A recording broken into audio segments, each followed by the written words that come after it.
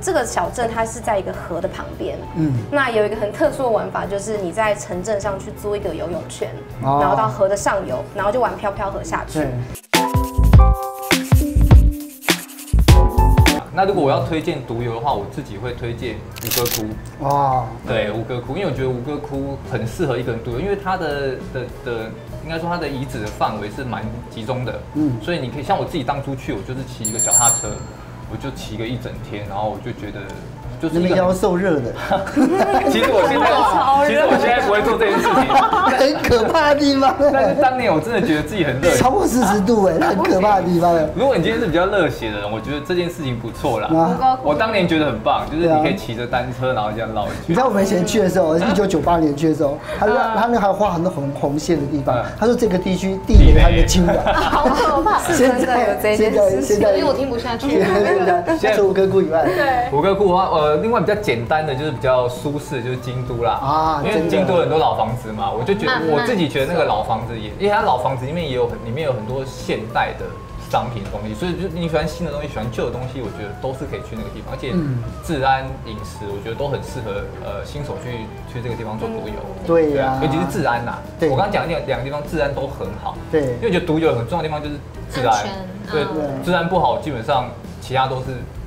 不不能说白讲，但是其他地方就是变成你要担忧的地方比较多。治安是一，其他都是对对对对，没错，治安是一，其他都是。但除了我安全之外，我女生也想要漂漂亮亮的，或不用那么四十度骑 十公里，好不好？骑这个漂亮。陈令，好了，问一下陈令，推荐女生，嗯，独游的话，我会推荐给。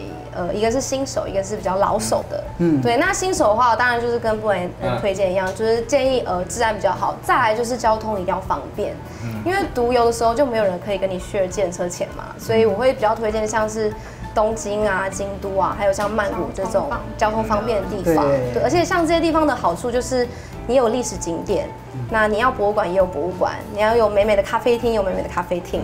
然后你有世界可以，就是很多样性。你不管是哪一种人，你都很适合去这些地方玩。是老手呢？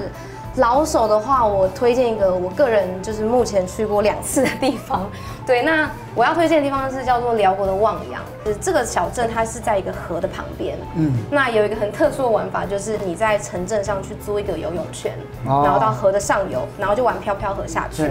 就那它的河的两岸其实有很多间酒吧，是。那假设你看到这间觉得顺眼，就跟岸上的人招招手，他就会丢一个，他没有，他就也丢一个绳子下来，你就抓住那个绳子之后，他把你拉上去。对，就是他，所以呃，这是辽国汪洋的照片，就它是一个非常漂亮的山城。嗯，对，然后这个就是我当时候在就是做飘飘河的时候。对，那通常一天下来，你就是已经就是你知道，就是一整条河的人都是你的朋友了。是，对，就是一个呃，我觉得很特别的体验。